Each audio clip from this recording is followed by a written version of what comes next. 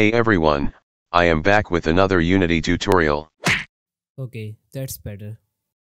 So in this video, I will tell you a different approach to rig 2D characters you may be familiar with 2D bone rigging or skeletal animation, whatever you prefer. But let me show you how to do it using Unity Mecanim. But why would you do it with Mecanim? Um, because we can and it's different and fast I guess. Anyways, keeping excuses aside, let's jump straight into it. So first of all, you need to export parts of your character separately. I'm gonna use this robot which I made in my previous video. Now, after exporting, create a new empty game object which is a holder for the character and inside that choose a part which controls all of the other body parts, generally its torso. Now, how are we gonna rig our character you may ask? Well, we'll create an empty object inside which will be graphic of that game object and we'll position that empty object, remember not the graphic one, empty object will position that on the joint of two parts or bones so that we can rotate around that point. That's how most of the character rigging works. It's just rotation around joint. Also, we can position it accordingly. So, to better understand, let me show you how to set up. In the torso, which is our parent object, create holder for the body part and position it on the joint with torso. And inside the holder, put the sprite.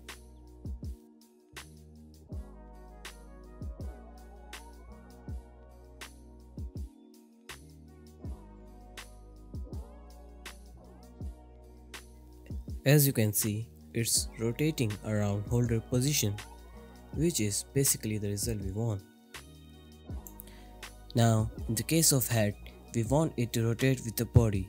So, to solve this, we'll make head holder child of the body part and position it on the joint of head and body, and then put head graphic inside head obj.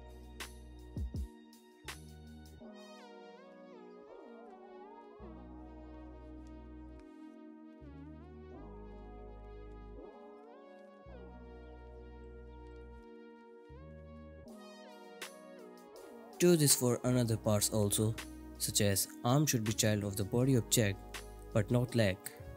Also layer them in correct sorting order. Okay, so I have made lower arm child of upper arm and hand child of lower arm.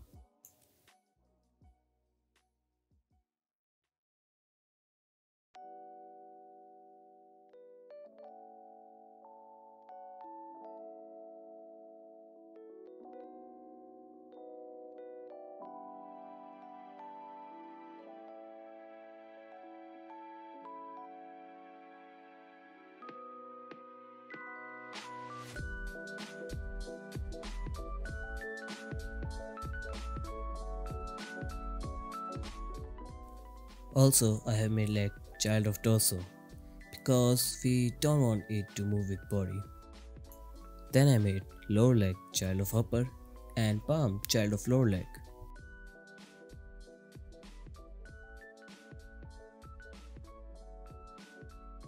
So that's cover our setup for the rig. Now to the animation part. Remember to only make changes to holder objects, otherwise it could make problems. Now, to animate, add keyframes of the holder part. As an example, I would animate a walk cycle. Here are the poses I made with the respective frame position. So, press the red and let's do it.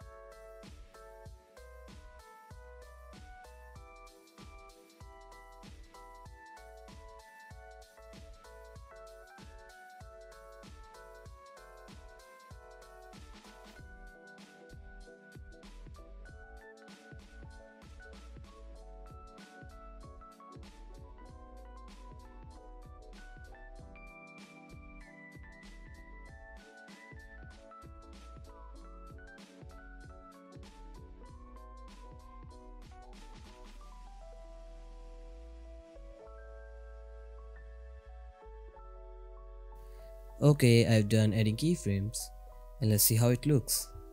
And it looks pretty decent.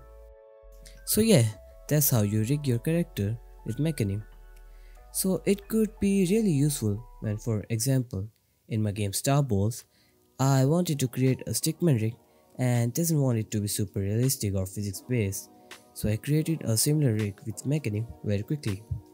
And so I think it could be really helpful to others. So thanks for watching guys. See you next time.